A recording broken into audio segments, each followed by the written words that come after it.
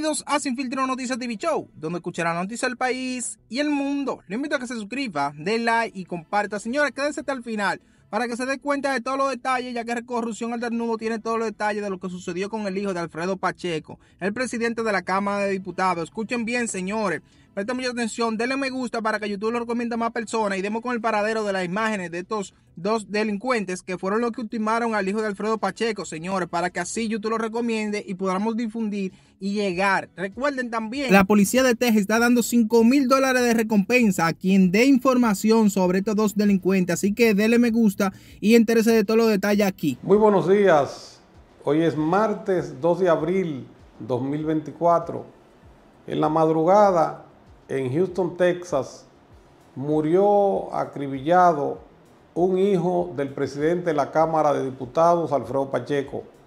Luis Alfredo Pacheco, de 34 años, quien era DJ de un centro nocturno, andaba en una Escalade negra eh, moderna y entraron a un estacionamiento de combustible, parece que abastecerse de alguna bebida o comestible, y entonces cuando iban a salir, que abordaron, andaban cuatro personas, tres más con el hijo de Alfredo Pacheco, se presentaron dos carros, incluyendo un Mercedes-Benz, y de los carros salieron eh, individuos eh, que se dice, según eh, narra la Policía Nacional en una rueda de prensa que ustedes verán, eran todos de origen hispano y levantaron la escalera a tiro, a plomo, acribillaron a ese vehículo a plomo limpio, ahí resultó muerto el hijo de eh, Alfredo Pacheco, Luis Alfredo Pacheco de 34 años, otro de 29 años que lo acompañaba, está gravemente herido y hay más heridos eso es una noticia en curso. Le voy a poner la rueda de prensa de la policía en Texas y le voy a poner videos del tiroteo para que ustedes vean más o menos cómo se, estaba, cómo estaba esa zona en ese momento. Esto eh, nos dice que pudo haber una diferencia con algunos parroquianos que tuvieron eh, usted sabe que cuando usted es DJ, eh, qué sé yo, le pedirán música y si no complace, por ahí la gente es violento, por ahí muchos latinos, por ahí hay muchos, se desenvuelven mucho los carteles mexicanos de la droga o en el peor de los escenarios pudiese tratarse de un ajuste de cuenta o de una acción ligada al bajo mundo. Corrupción al desnudo lo va a mantener en en contacto con la noticia y lo que manejen las autoridades dominicanas. Corrupción al desnudo eh, le tiende un pésame a la familia del joven Luis Alfredo Pacheco, en especial al presidente de la Cámara de Diputados, Alfredo Pacheco. Gracias. Hubo uh, dos, uh, cuatro hispanos que estaban en el Cadillac Escalade atrás de mí, entraron a comprar unas cosas en la tienda cuando regresaron al carro, entraron en el carro y los hay cuatro sospechosos que, que tenían dos ah, carros separados.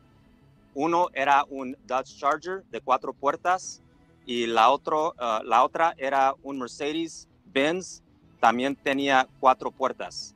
Y los sospechosos todos son hispanos. Los cuatro, de los cuatro, tres tenían una camisa blanca y pantalones blancas también. Uno tenía una camisa blanca con ah, pantalones negros. Ah, ellos tenían rifles y hubo mm, ah, muchos disparos aquí. Hay un, unos de los hispanos que estaban en el, Escalade que era negro se falleció.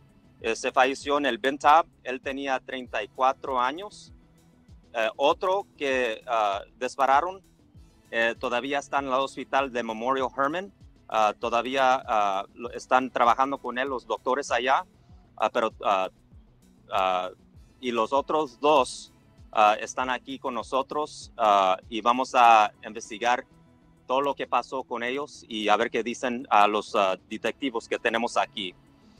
si hay video de lo que pasó hoy pero le pido a la gente que si viste algo, por favor marca 713-222-PIPS. Si tienes información sobre lo que pasó hoy, ah, ah, hay, dinero que podemos dar si arrestamos a, los sospechosos que hubo aquí en este lugar. Ah, por, favor, ayuda a nosotros con la, policía de Houston en esto, en, lo que pasó hoy.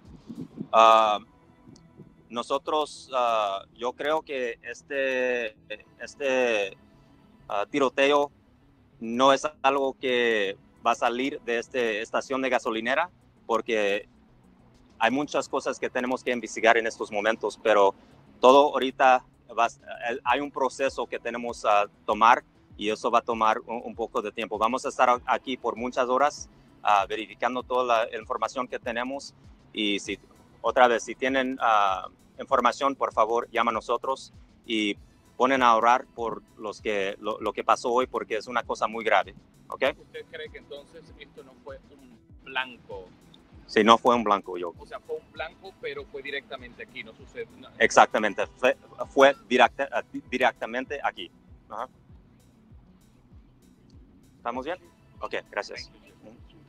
Desarrollo, de hecho, la rueda de prensa acaba de terminar hace escasos cinco minutos. Sí, efectivamente están buscando a cuatro sospechosos que salieron de aquí después de echar tiros. Todos serían hispanos. Las dos personas, incluyendo la persona que murió, acaba de confirmar la policía. También se trataba de una persona hispana de 34 años. Vamos a ver este video que compartió uno de los testigos para que vean qué fue lo que sucedió aquí pasada las 7:16 minutos. Escuchen.